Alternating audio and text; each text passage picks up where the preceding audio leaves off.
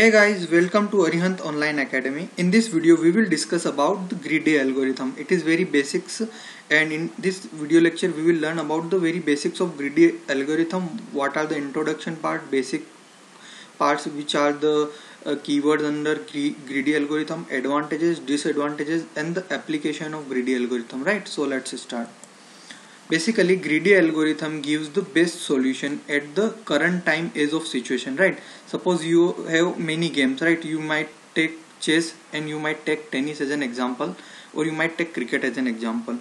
In chess you have to remember the future goals also right? So to take future goals in mind you will take the step as according to that. But in cricket you will handle the present situation right? So basically greedy algorithm depends on the present condition right? So it will locally depends or locally take the decision on the basis of present condition right? That is why it is called as it is best solution at the current time is of situation right? Greedy algorithm works in stages right? So it will uh, works in stages and after each stages it will put you it will put its local optimum solution right? And overall it will give optimum global solution a decision is made which is good at the point without bothering about the future right? So basically it will find profit in the present condition. It provides global optimal solution. So it is the introduction of greedy algorithm.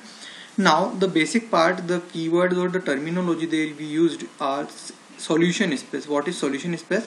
Solution space is basically set of all possible solutions over the given n number of inputs right? So suppose we have provided here n number of inputs. Then set of all possible solutions over the given n number of inputs is called as solution space. Because most of the problems in greedy technique contains n number of inputs and output is subset of input and which will satisfy our condition and will give optimal solution right now feasible solution is there.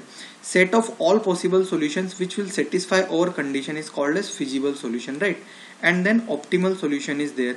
Best solution among the feasible solution or solutions which optimizes our goal are optimal solution under that. Now the advantages of greedy algorithm is it is direct and very straightforward right? The second is it is very easy to understand then easy to code in any programming language and it do not need any re-examination of already computed values right? So that is why it is very easy and straightforward to apply. Now there are various disadvantages as well not applicable for many problems right? Because there are many problems existed which we can't solve optimally by using greedy algorithm right? So that is why it is not applicable for most of the problems many of the problems right? Because we want our global optimal solution and in many problems if we will apply greedy algorithm we will not able to find the optimal solution there global optimal solution there right? So it is not applicable for many of the problems.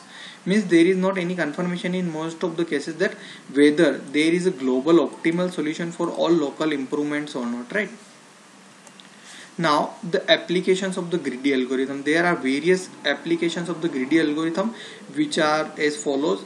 Here we are discussing about the application part and in our upcoming video lectures we will discuss about the each and every application in very detail right? So please don't forget to subscribe and press the bell icon button so that you can't miss any of the important updates from our side. Now very first application of greedy algorithm is job sequencing with deadlines. The next one is knapsack problem is there however we will also discuss the 0 by 1 knapsack which will under the uh, next part of our algorithm right? Optimal merge pattern is also application of greedy algorithm then selection sort topological sort heap sorting huffman coding prim's algorithm and kruskal's algorithm right?